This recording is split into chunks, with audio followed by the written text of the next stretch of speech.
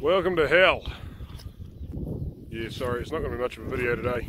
Um, yeah, so you saw we had four inches of rain, five days, possibly more, I can't even remember now. Um, then we had snow. Thankfully, by the time the snow came along, we'd pretty much finished lambing, but still not ideal right at the end. And uh, yeah, then we had a flood. Lovely. That's right, a flood. We had 65 millimetres of rain in about 11 hours. Uh, so that was all good. And then we had a, a, reasonably nice warm day in between. And then we had another 17 mils of rain. And that was yesterday. And then last night we had more rain again. I haven't even bothered looking in the rain gauge, but uh, yeah, we've all just had a complete gutful. So anyway, here's a bit of a look back at, at uh, what's been since the last video. Here come the yearling steers. Getting out on some better feed. They uh, and quiet these guys. Yeah, so they're heading out into this. Looks a wee bit better out there. A bit of tucker there for them. Not a huge amount, but they're just, yeah, going to run with the ewes and lambs for a wee while. They've got a bit of growing to do. They're behind the eight ball a wee bit.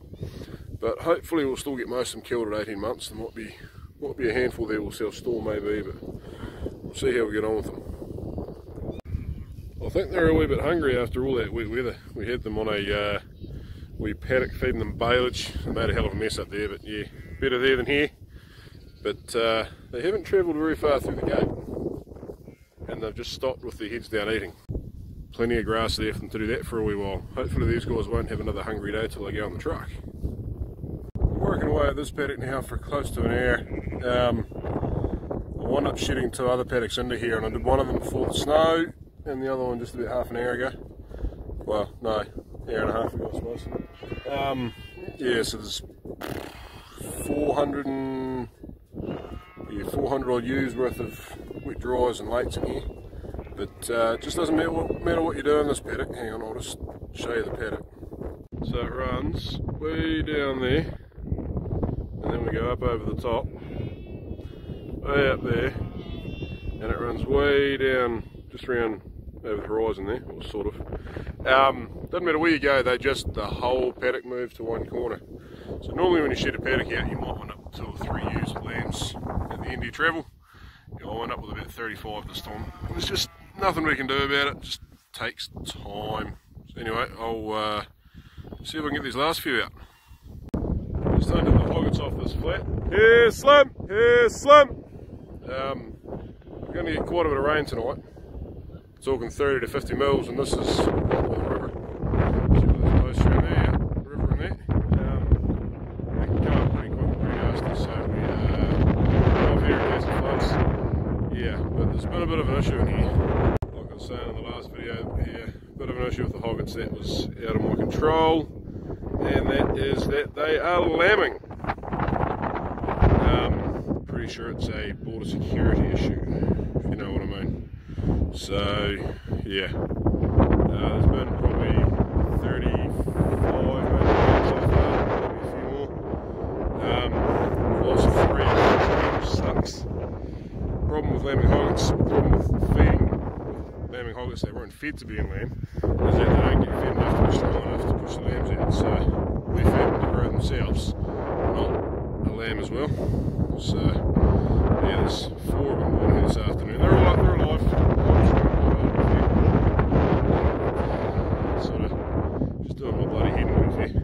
So yeah, so we'll change that. There you go, they're away. We're just going to put them, so they're running into one break, going to go through the next one and back to the next one. Uh, I want to put them on the paddock of really nice lush grass further back, but if we're going to get a whole lot of rain, they'll just waste that. So we're going to chuck them on that break for the night. The bottom of that wool shed's about five feet high. Oh, bloody lovely. So that flat there, so that there's the neighbours. This flat here is theirs. The only bit on that side of the river out here. That's where those hoggets were last night. Glad I shifted them. Yeah, still coming up. You can see there's there's this wee girl down here and there's two over here. They're the ones that had land last night. The other one has managed to get across the bridge and walk up there. There's no point trying to shift them because hoggets with young lambs at a day old are not going to move for anyone but themselves. But I mean, they're fine there. We shifted them before we made a mess, so they've got, if it's green, it's dry enough. Um, and they've got feed there as well. So she's actually got two of hers alive. I thought one of them was dead. That's good to see. Anyway, um, yeah, 2020, eh?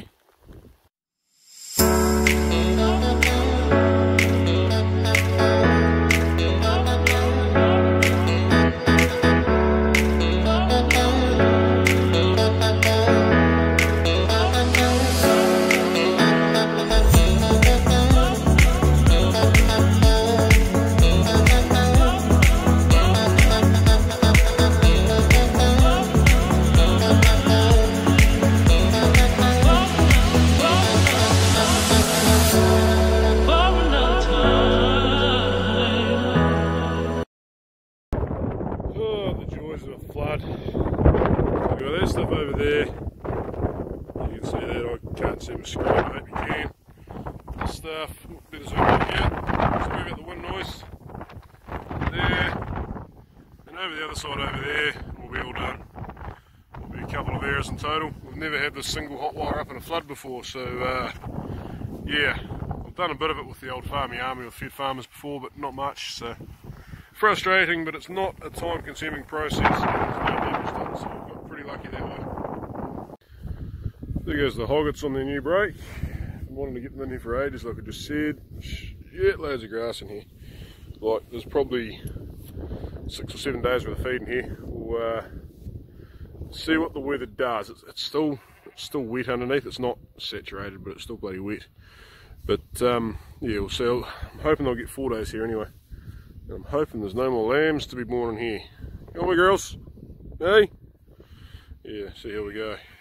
So yeah, with the flooding, we didn't we didn't get off too bad. Look, as you saw, like uh, it's literally two or three percent of our farm that floods. It just so happened that these wee hoggets that had lamb didn't want to run off there.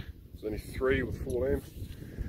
But we had a bit of warning if we were watching the forecast. But uh, yeah, those that those that weren't actually watching it, which a lot of the time we don't, there was no official warning sent out. We were never told there was a heavy rain event coming. It was just, oh, you've got about two inches of rain coming for the day, which, yeah, probably needs to be worked on.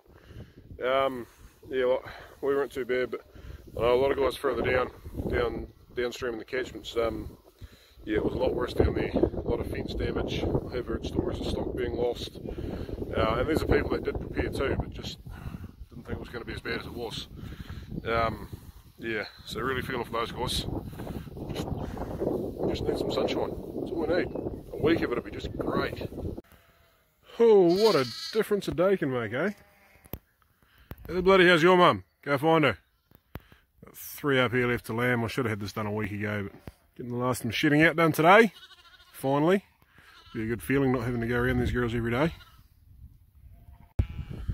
You wouldn't believe this grass was all underwater just 48 hours ago, but uh, that's the difference a couple of days can make, I guess. Oh, check out that here, would you? Anyway, guys, thanks for watching. Hope you enjoyed this. Uh, at the moment I'm filming this, the, uh, what do you call it, Town and Country Tractor Hui is tomorrow. Please behave. Make it a good day. Make it count. I'm not going to be there, unfortunately. I'm hanging on to hope that uh, I'm going to have ground dry to work because I'm getting desperate to get some young grass sown. And I've got a wee bit of nitrogen from the uh, early September stuff left in the bin that I need to get on to for these girls. But yeah, if, if you've got the chance, please do go and get behind it. We need to support these guys in this. Fed's been doing amazing work around this plan. It stands to destroy our farming practices basically. We, uh, we're all going to wind up farming under consent and doing what we're told if we're not very careful here. So please do get along if you're not doing anything and you get right into it. Anyway, catch you next time.